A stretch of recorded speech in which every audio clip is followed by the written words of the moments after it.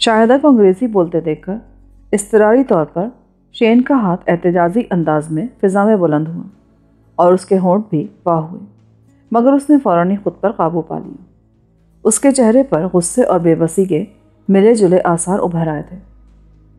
शाहिदा के जवाब में मज़ीद कुछ कहे बगैर वो खामोशी से वहाँ से चला गया। शाहिदा फातिहाना अंदाज में मेरी तरफ़ मुस्कुराकर देखने लगी। क्या कह रहा था? अपनी दुख भरी दास्तान सुना रहा था। कह रहा था कि इन दिनों वो मदाम के अताप में है। और अगर मैंने उसकी शिकायत की तो उसके बारे में कोई रूफर सा फैसला भी सादर किया जा सकता है। और उसकी ज़ुबान से सुनकर तुम्हें खुशी हुई। होनी ही चाहिए। इंसान के अगर दो मतजाद रूप हों तो वह हर रूप में दूसरे बहरूप के कमालत देखकर खुशी महसूस करता है। तुम्हारे मुँह से अल्फाज हकीर लगते हैं। मादाम बावरी की शख्सियत से मिल नहीं खाते। यही कहना चाहते हो ना? इस वक्त मैं तुम्हारे सामने महज शायदा हूँ। इसीलिए अपने दिल की भड़ास निकाल रही हूँ। कभी कभी तो मैं अपने मौजूदा हालात से शदीद घुटन महसूस करने लगती हूँ। जी चाहता है कि खुलकर अपने मादाम बावरी होने का ऐलान कर दूँ। तुम पहले आदमी हो, जिसे मैंने बेखौफ ख़तर इस राज में शरीक किया है। और इसी वजह से तुमसे बेतकल्लुफ़ी से बातें करती जा रही हूँ। तुम मादाम बावरी हो या शाहिदा मगर निरी अहमक हो।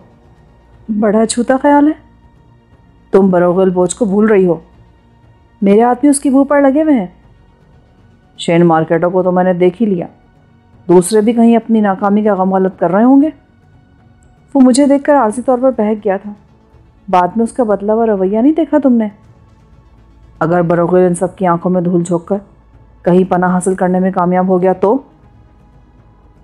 शायदा उछल कर खड़ी हो गई। उसकी आँखें हैरत से फैल गईं। तुम सही कह रहे हो। ये मकान उसकी नज़रों में आ चुका है। कहीं वो ज़्यादा नफरी के साथ दोबारा यहाँ धावा ना बोल दे। अब वक्त के ज़िया का एहसास हो रहा है ना। ये भी तो हो सकता है कि बरोगल बोझ इस मकान को भूल ही जाए। वो ये भी तो सोच सकता है कि ये मकान इसकी नज़रों में आने के बावजूद अपनी अहमियत और अफादियत को खो बैठा होगा। तो फिर ठीक है, तुम आराम करो। इन हालात में मुझे छत के नीचे नींद नहीं आ सकती लेकिन अगर तुम इस बात को इतनी अहमियत ही दे रहे हो तो मैं भी टी नाइन से ताज़ा सूरत हाल मालूम करती हूँ। वो तो अभी तक लाशों के चक्कर में होगा। उसने मेरी बात का जवाब नहीं दिया और ट्रांसमीटर पर शेन मार्केटों से रबता कायम करने की कोशिश करने लगी। Report, over. रबता कायम होते शाहिदा ने बर रास्त पूछा। वो सन ह्यूबर्ट के इलाके में एक इमारत से निकलते देखा गया था, मदाम? मगर ख़तरे को भाप कर वो दोबारा अंदर जा घुसा है। वो इमारत इस वक्त हमारे आदमियों के नरगे में है। ओवर और तुम कहाँ हो? ओवर इत्तला मिलते ही मैं भी मौके पर पहुँच चुका हूँ। दोनों पार्सल मेरी गाड़ी में मौजूद हैं। हमने इमारत में आने वाली फ़ोन की तमाम लाइनें मुनक़ा कर दी हैं। ओवर तुम महासरा कब तक कायम रखोगे टी नाइन ओवर मुझे मज़ीद आदमियों का इंतज़ार है, मदाम। उनके आते ही मैं खुद एक एक फ्लैट की तलाशी लूँगा। ओवर उसे पहचान सकोगे? ओवर जिसामत और लिबास से यकीनन पहचाना जाएगा। ओवर। लिबास बदला जा सकता है और उसकी जिसामत ऐसी मामूली है कि हर दस आदमियों में से दो चार वैसे ही होंगे। ओवर। मदाम, मेरी रहनुमाई करें। ओवर। इमारत से निकासी के रास्ते कितने हैं? ओवर। दो।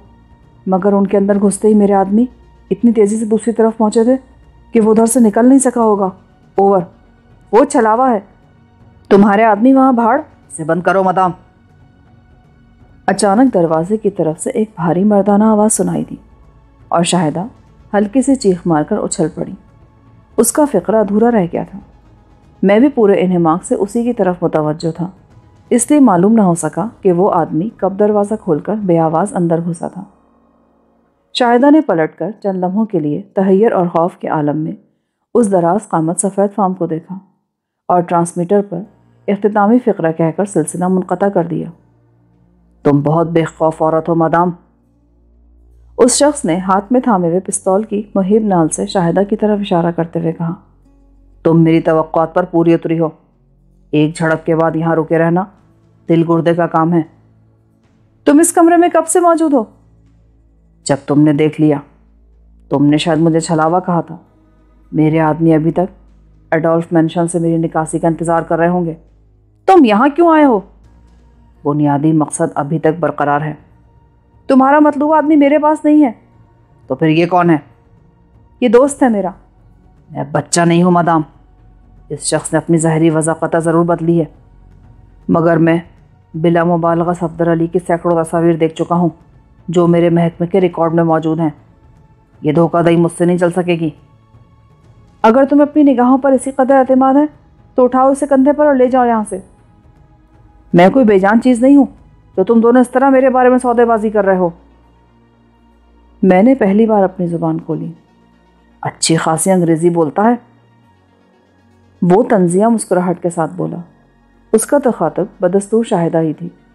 इसकी टांग में क्या हुआ? मेरा वक्त और मूड बर्बाद मत करो। इसे ले जाने के बाद रिसर्च करते रहना। मेरा साथी और अलीज़ा कहाँ है?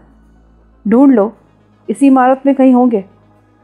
औरतों पर तशद करना ज़्यादा आसान होता है, मदाम। मुझसे होश में रहकर बात करो। तशद अगर तुम ये जान ही चुके हो कि मैं कौन हूँ तो मुझसे ऐसी बचकाना बातें हरगिज मत करो। मुझे अपना साथी हर हालत में दरकार है हाँ वो ज़िंदा हो या मुर्दा। काश कि मैंने उसे मार ही दिया होता। मैं पूछ रहा हूँ, कहाँ है वो? मैं महसूस कर रहा था कि शाहिदा के रवैये पर वो आदमी आहिस्ता आहिस्ता मुश्तैल होता जा रहा था। उसे मदाम के हुक्म पर यहाँ से कहीं और मुंतकिल कर दिया गया है। कहाँ? ये मदाम को या ले जाने वालों को इल्म होगा। तुम फिर अपनी असलियत से इनराफ कर रही हो? मैं मादाम बावरी की अदना जानसार हूँ मिस्टर बरोगल बोझ अगर मैं मादाम होती तो इस कमरे में कदम रखने से पहले तुम्हारा बदन छलनी कर दिया गया होता। तुम झूठी हो। एलिजा ने मुझे पूरी कहानी सुनाई थी। ज़बरदस्ती का कोई इलाज नहीं है मेरे पास। देखूँगा तुम्हें। पहले तुम सफ्तर के दोनों हाथ उसकी पुष्ट पर ले जाकर बाँध। दो यहाँ डोरी नहीं है। वक्त बर्बाद मत करो। इस मरतबा वो गज़ब आलूद लहजे में बोला और शाहिदा ने फ़ौरन ही अपने गाउन की डोरी खोल ली। मेरे हाथ पुष्ट पर बांधते हुए उसने एक मरतबा नरमी से मेरा हाथ दबाया जिसका मतलब था कि वो सूरत हाल से बिल्कुल ही मायूस नहीं हुई थी। अब क्या किया जाए? सफदर अपने पैरों पर चल सकता है। अगर यह मजबूरी ना होती ना तो इस वक्त नक्शा ही कुछ और होता। शाहिदा के बजाय इस बार मैं बोल पड़ा, अगर यह दोस्त है तो फिर सफदर को तुम अपने कंधे पर लाद कर मेरी कार तक लेके जाओगी। शाहिदा ने उस मुशक्क़त पर शदीद एहतजाज किया, मगर वो कोई बात सुनने के लिए आमादा नहीं था। शाहिदा ने झुककर, नहायत दिक्कत का मुजाहरा करते हुए मुझे अपनी पुष्ट पर लाद ली। अपने बदन को ढीला ही रखना। तोज़न दुरुस्त करते हुए वो हौले से उर्दू में बड़बड़ाई और मेरा दिल बल्लियों उछल पड़ा।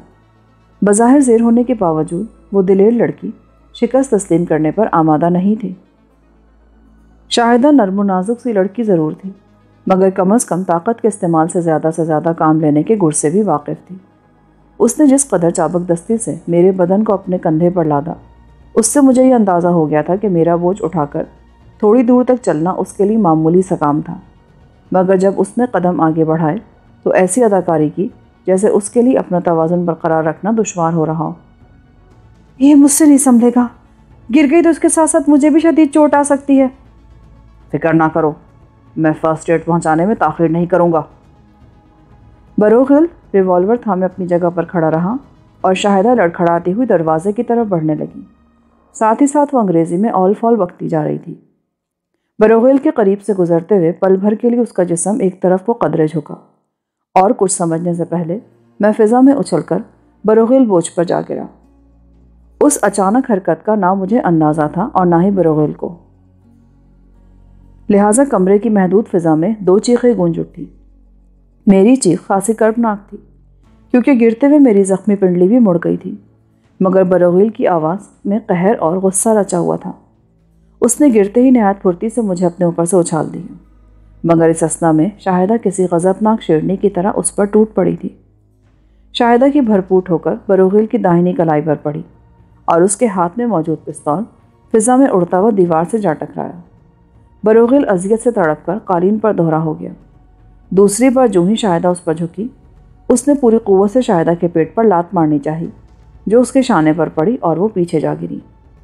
फिर वो दोनों तकरीबन बैक वक्त कालीन से उठे और एक दूसरे के सामने जम गए। बरोगिल का दाहिना हाथ बेजान अंदाज में झूल रहा था, जिससे अंदाज़ा हुआ कि शाहिदा की ठोकर ने उसका वो हाथ नाकारा कर दिया था। उन दोनों ने जुनून के आलम में एक दूसरे पर कई हमले किए, जो मजमू तौर पर बेकारी साबित हुए। क्योंकि वो दोनों ही अपनी मदाफत के सिलसिले में बहुत ज़्यादा चालाक थे। मेरी पिंडली में उठने वाली दर्द की नई टीसें बहुत शदीद थीं, मगर कमरे में होने वाला रूह फरसा मुकाबला इस कदर सनसनी खेज था कि मैं उसे अपनी मर्ज़ी के मुताबिक ढालने की फ़िक्र में तकलीफ़ भूल कर आहिस्ता आहिस्ता उधर सरकने लगा, जिधर बरोगेल का पिस्तौल पड़ा था। मेरी निगाहें उन दोनों पर मरकूज थीं। एक बार बरोगेल किसी खूनिन औकाब की तरह शायदा पर झपटा तो वह ना सिर्फ़ उसे झुकाई दे गई, बल्कि उसके रुखसार पर एक ज़ोरदार थप्पड़ रसीद करने में कामयाब भी हो गई। मार खाने के बाद बरोगेल पलटा तो उसके रुखसार की जिल कई जगह से फट चुकी थी। उस वक्त मुझे अंदाज़ा हुआ कि शायदा महज दावपेची नहीं जानती थी, बल्कि उसके बदन में गैर मामूली ताकत भी मौजूद थी। शायदा अपने हरीफ पर फैसला कन बरतरी हासिल ना कर सकने के बावजूद खासी पुरसकून नज़र आ रही थी, मगर बरोखेल एक लड़की के सामने खुद को बेबस पाकर गुस्से में आपे से बाहर हुआ जा रहा था। अगली कोशिश में वो शाहिदा का लिबास फाड़ने से ज़्यादा कामयाबी हासिल ना कर सका और फिर उसने अपनी बेल्ट में से तेज़ धार वाला एक छोटा सा खंजर निकाल लिया। खंजर उसके हाथ में देखकर शाहिदा परेशान हो गई। बरोगिल बाएँ मुट्ठी में खंजर दबाकर हमलावर हुआ तो शाहिदा उसकी जद से पूरी तरह बच ना सकी। खंजर की नोक ने उसके दाहिने रुखसार पर खून की लकीर उभारने के साथ ही उसकी हथेली भी जख्मी कर दी। मैं बरोगिल के पिस्तौल की तरफ़ ज़रूर बढ़ रहा था, मगर पिंडली में उठने वाली टीसों के बायस मेरी रफ्तार बहुत सुस्त थी। शाहिदा का खून देखकर मैंने अपनी जद्दोजहद कुछ और तेज़ कर दी। बरोगिल शुरू से इस कोशिश में था कि शाहिदा से लिपट कर उसे जेर करें, मगर वो लड़की उससे दूर रहकर ही मार्के को अंजाम तक पहुँचाने में कोशा थी। उन दोनों की पोजीशन हर लम्हे बदल रही थी, और शायद इसी वजह से बरोगेल को मेरी गैर महसूस पेशकदमी का अंदाज़ा नहीं हो सका था। मैं जब पिस्तौल तक पहुँचा तो शाहिदा के जिसम पर कई ज़ख्म आ चुके थे। वो दोनों खून में तर थे, मगर उनके वहशियाना हमलों में कोई कमी वाक़ नहीं हुई थी। मैंने हाथ बढ़ाकर कालीन पर से बरोगेल का वजनी पिस्तौल उठा लिया। उस वक्त बरोगेल की पुश्त मेरी जानब थी।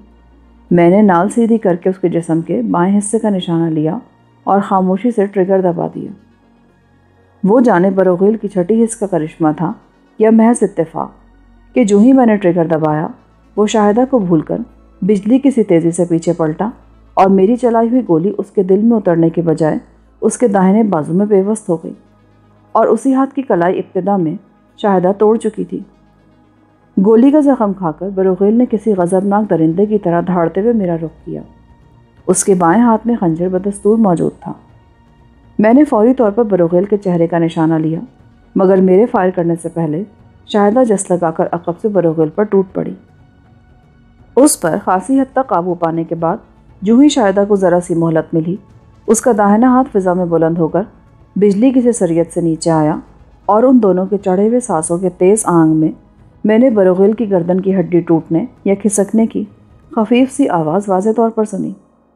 उसके हलक से फंसी हुई आवाज़ निकली और वो रेत के बुरे की तरह उसी हालत में कालीन पर ढेर हो गया।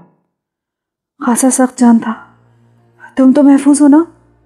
तुम्हारा चेहरा और जिसम कई जगह से ज़ख्मी है। पहले ड्रेसिंग कर लो। ड्रेसिंग तुम नहीं करोगे। हुक्म दोगी तो इनकार नहीं करूँगा। खौफजदा हो गए। खूनाशाम औरतों से डरना ही चाहिए। चंद घंटों में तुम्हारे हाथों से तीसरा कत्ल हुआ है। पहले तुम बिस्तर पर आओ। मुझे अफसोस है कि मैंने तुम्हें बेरहमी से उस पर फेंक दिया था। मगर वो मेरा आखिरी मौका था। अगर मैं उसे कमा देती तो हम दोनों उसके कैदी बन चुके होते। इस वक्त तुमने मुझे निहत्ता करने की कोशिश नहीं की।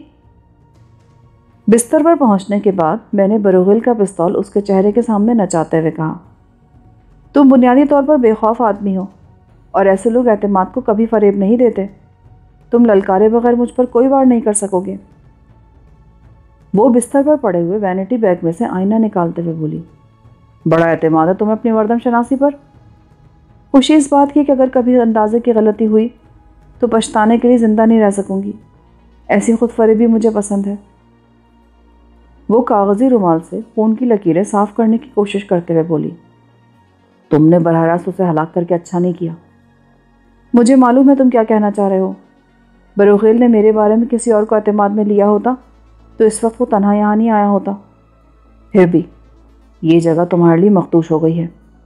ठीक कह रहे हो, एहतियात मुनासिब रहेगी। मगर पहले मेरे ज़ख्मों की मामूली से ड्रेसिंग कर दो, ताकि खराशों में सोजिश कम हो सके। तुमसे दोस्ती ख़तरनाक साबित हो रही है। अब तो तुम मेरी और मैं तुम्हारी मरहम पट्टी करता रहूँगा। उसने अचानक झुककर मेरी पेशानी चूम ली। आखिर को तुमने मेरे लिए अपने दिल में एक नरम गोशा तलाश कर ही लिया ना?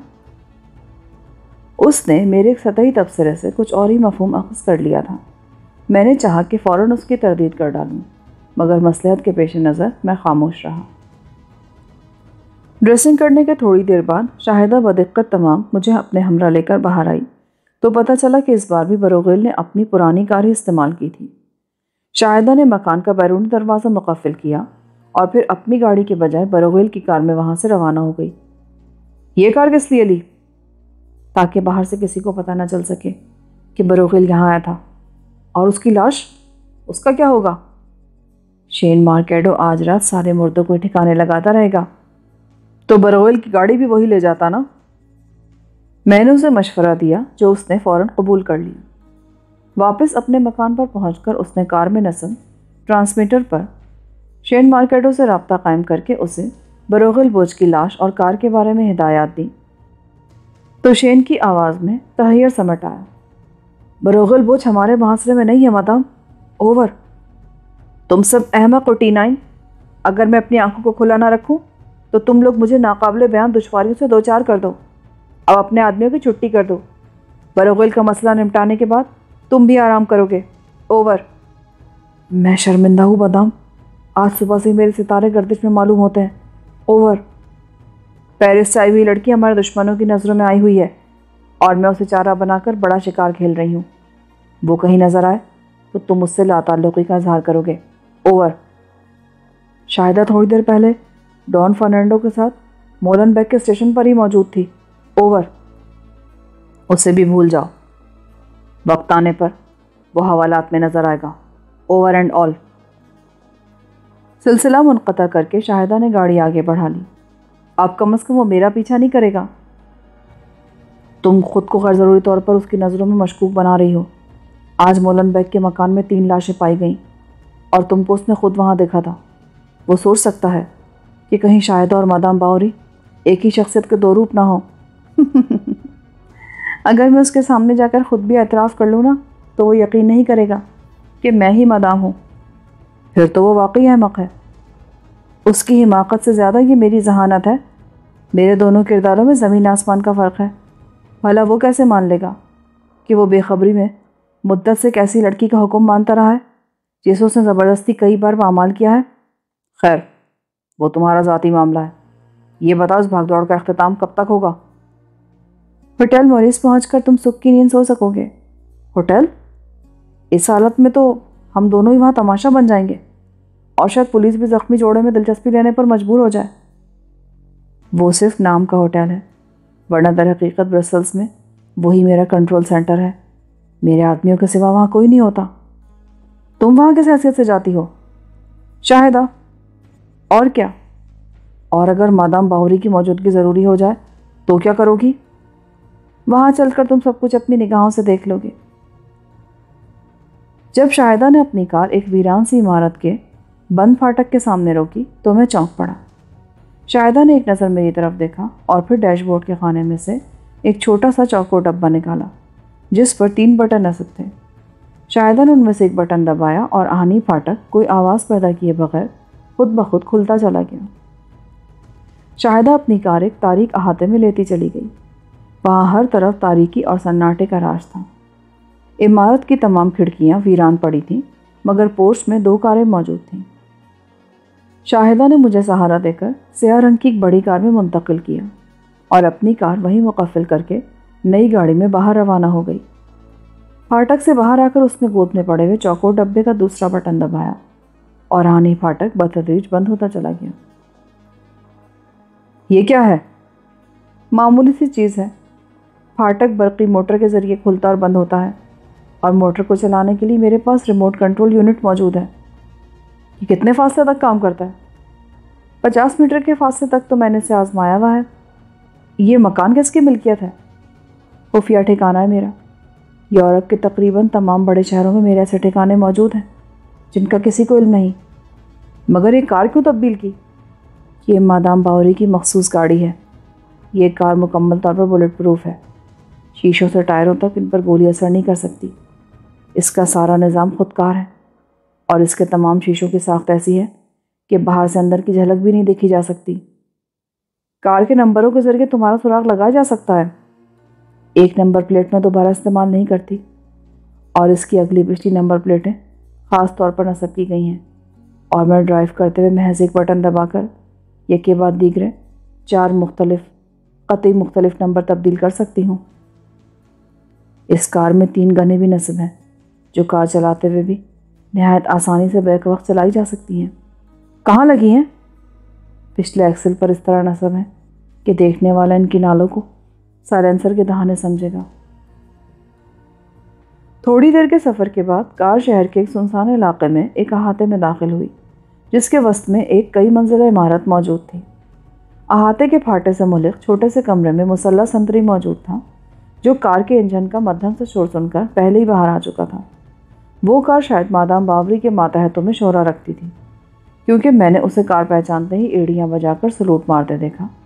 और शाहिदा उस पर तवज्जो दिए बगैर अपनी कार अंदर लेती चली गई।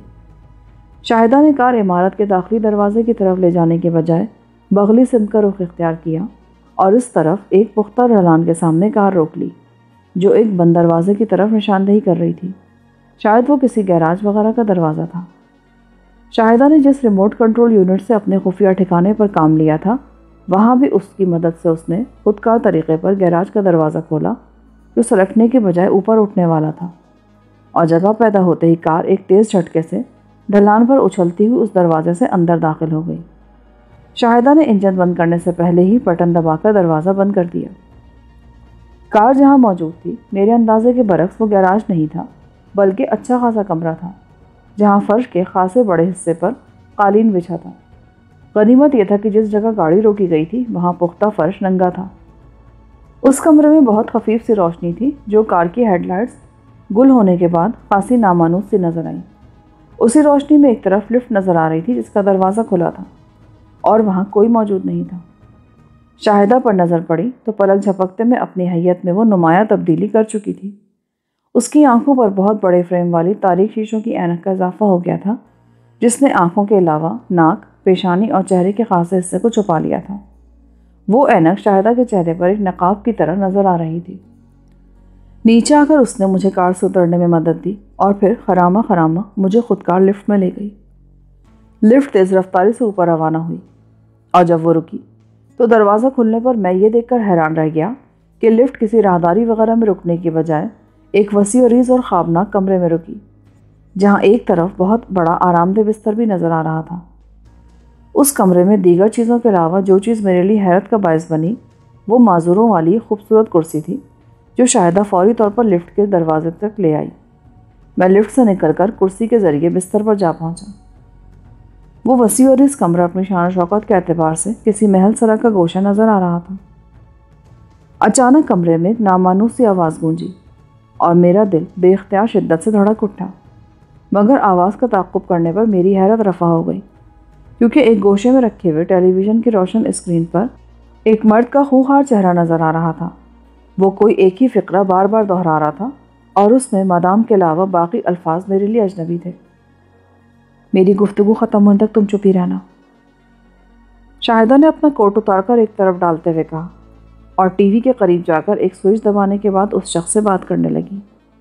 चंद लम्हों बाद वो स्विच ऑफ़ करके वापस आई तो उसके चेहरे पर तशवीश के साय लर्जा थे। क्या हुआ? शेन मार्केडो इसराइली सफारत खान के करीब लाशें डालते हुए पुलिस की नज़रों में आ चुका है। बरोगल का किस्सा पाक होने के बाद शेन मार्केटो को उधर भेजना ही हिमाकत थी। आखिर इसकी ज़रूरत ही क्या रह गई थी? पुलिस उसका ताकुब कर रही है। वो बहुत गलत मौके पर पुलिस की नज़रों में आया है। अगर वो उनके हाथ लग गया तो उम्र कैद से नहीं बच सकेगा। और मेरे आदमियों के लिए ना जाने क्या क्या दुश्वारियाँ पैदा कर देगा। खबर देने वाला कौन था? क्लोज सर्किट टेलीविज़न पर। इस इमारत का रेडियो ऑफिसर था। उसे चंद मिनट पहले ट्रांसमीटर पर टी नाइन ने खुद सूरत हाल से आगाह किया था।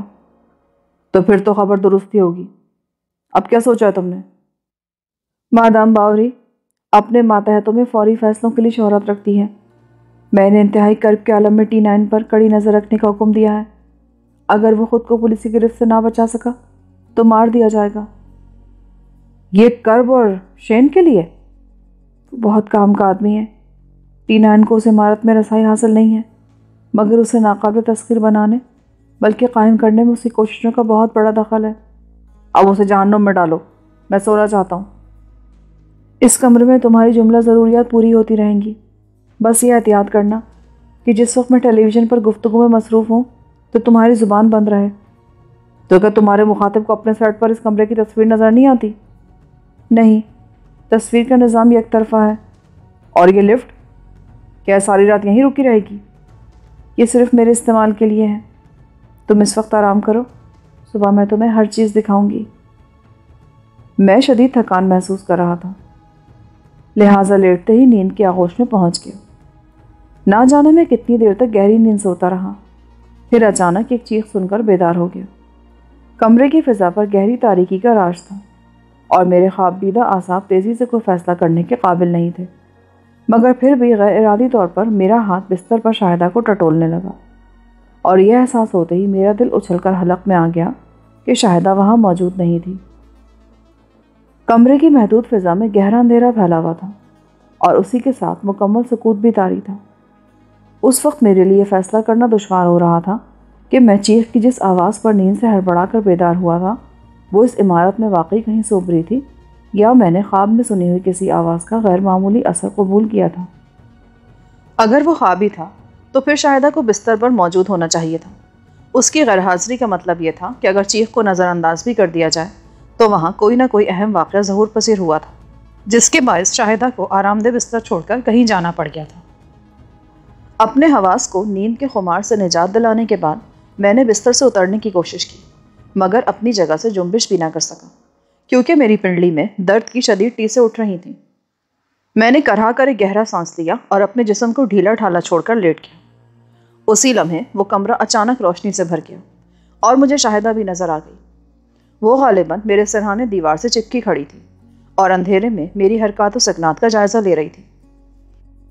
मसैरी के मुकाबल एक ऊँचे फ्रेम पर कोई बड़ी सी स्याह मशीन मौजूद थी, जो उससे पहले मैंने वहाँ नहीं देखी थी। और ना ही मुझे तारीकी में उसका हेवला नज़र आ सका था। वो चीख कैसी थी? मैंने शायदा को घूरते हुए सर्द लहजे में पूछा। मुझे अफसोस है कि मैंने तुम्हारी नींद में खलल डाला। मगर क्यों? मेरी हिमाकत। वो फर्श पर नसब स्याह मशीन को एक गोशे में धकेलते हुए बोली। मशीन जिस अंदाज में सरक रही थी, उससे ज़ाहिर हो रहा था कि उसके फ्रेम में पहिए लगे हुए थे। जिनकी वजह से उस ट्रॉली नुमा ढांचे को बसानी एक जगह से दूसरी जगह मुंतकिल किया जा सकता था। सिर्फ़ हिमाकत का इतराफ़ ही काफ़ी नहीं होगा। मैं जानना चाहता हूँ कि वो चीख कैसी थी। और यह स्याह मशीन मेरे सामने कैसे आन पहुँची? गुस्सा मत करो, अभी बताती हूँ। वो पलट कर दिल फरेब मुस्कुराहट के साथ बोली। फिर उसने लिफ्ट के बाएँ तरफ़ वाले कमरे का दरवाज़ा खोलकर ट्रॉली अंदर दाखिल की और दरवाज़ा दोबारा बंद करके बिस्तर पर आ गई। बिस्तर पर दराज होने के बाद शाहिदा ने सिरहाने लगा हुआ स्विच दबाकर कमरा दोबारा तारीख कर दिया। और मेरे बालों में उंगलियाँ फेरने लगी। इन ढकोसलों से मुझे मत बहलाओ। मैं माकूल जवाब सुने बगैर मुतमिन नहीं होऊँगा। तुम तो बिस्तर पर दराज होती गहरी नींद सो गए थे, मगर मैं एक पल के लिए भी नहीं सो सकी। मेरे जहन पर मुसलसल एक वहम सवार था। रुके बगैर बोलती जाओ। अगर सच बोल रही हो तो तुम्हें सोचने के लिए वक्फों की ज़रूरत नहीं पड़नी चाहिए। बहुत बेदर्द हो तुम। मैं शुरू से ही तुम्हारे साथ मुखलसाना रवैया अख्तियार करती आई हूँ मगर उसके जवाब में तुमने किसी भी वक्त हौसला अफजा जवाब नहीं दिया। तुम्हें यहाँ लाने के बाद अचानक ही मुझे ख्याल आया कि कहीं तुम किसी और लड़की के अदाओं के असीर ना हो। उसके बाद जो कुछ हुआ वो मैंने अपने शुबे की तस्दीक के लिए किया था जिसके लिए मैं तुमसे माजरत खा हूँ। शुबे की तस्दीक? कैसी तस्दीक? एक जदीद साइंसी तरीका है। तुमने जो मशीन देखी वो बेश कीमत इंडक्शन यूनिट है। जिससे मखसूस कस्म की ऐसी मकनतीसी लहरें खारिज होती हैं जो पाँच फुट के दायरे में हर ज़ीरो को जहनी तौर पर मफलूज कर देती हैं। कमज़ोर क़वत इरादी के मालिक उसका आसान शिकार होते हैं। जहनी फालिज के दौरान उनसे जो कुछ पूछा जाए उसका जवाब बिल्कुल दुरुस्त मिलता है। फिर मुझसे कुछ मालूम हुआ? इंडक्शन यूनिट में कोई ख़राबी थी क्योंकि उसे ऑन करते एक हल्के से धमाके से मशीन का कोई हिस्सा जल गया। शायद मेरे जहन से खारिज होने वाली मकनातीसी लहरों ने मशीन को मफलूज कर दिया। उस गैर मुतव धमाके पर मैं अपनी इस चीख रोक ना सकी, वरना तुम्हारे सामने सब दोहराने की नौबत ही ना आती।